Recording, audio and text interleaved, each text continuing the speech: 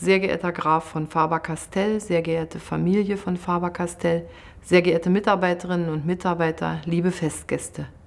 Das weithin bekannte Familienunternehmen Faber-Castell hat Erfolgsgeschichte im wahrsten Sinne des Wortes geschrieben. Wohl fast jeder hierzulande hat schon einmal ein Produkt aus ihrem Hause in den Händen gehalten.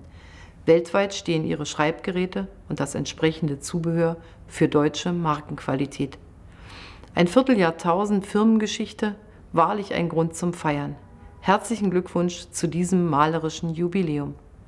Damit aber nicht genug. Auch Sie persönlich, lieber Graf von Faber-Castell, haben erst kürzlich einen besonderen Ehrentag gefeiert. Ich gratuliere Ihnen nachträglich, aber nicht minder herzlich zum 70. Geburtstag. Seit sage und schreibe acht Generationen ist Faber-Castell in Familienbesitz. Das Traditionshaus hat zahlreiche Zeitenwenden gemeistert. Es war ein Wegbereiter des Markenschutzes in Deutschland.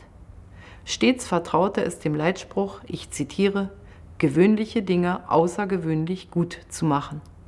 Ungewöhnlich war auch die Unternehmensphilosophie, Ökonomie und Ethik als zwei Seiten derselben Medaille anzusehen.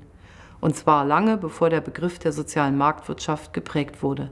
Lange bevor das Ziel der Nachhaltigkeit in aller Munde war und noch viel länger vor der jüngsten Finanz- und Wirtschaftskrise, die die Bedeutung verantwortungsvollen Wirtschaftens deutlich unterstrichen hat.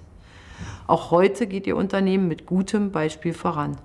Mit Ihrer Sozialcharta verpflichten Sie sich, in Ihren Werken weltweit die Standards der Internationalen Arbeitsorganisation einzuhalten. Ihre Projekte zur Rohstoffgewinnung und für umweltfreundliche Fertigung stehen für gelebte Nachhaltigkeit. Sie schützen in ihren Forsten Fauna und Flora und helfen so, biologische Vielfalt zu bewahren. Ich kann Sie alle nur ermutigen, diesen Kurs beizubehalten, denn offensichtlich ist es ein auf Dauer angelegter Erfolgskurs. Ihr Jubiläum gibt Ihnen einen schönen Anlass, auf erreichtes Stolz zurückzublicken und daraus Zuversicht für neue Aufgaben zu schöpfen. So wünsche ich Ihnen ein schönes Fest und weiterhin viel Erfolg.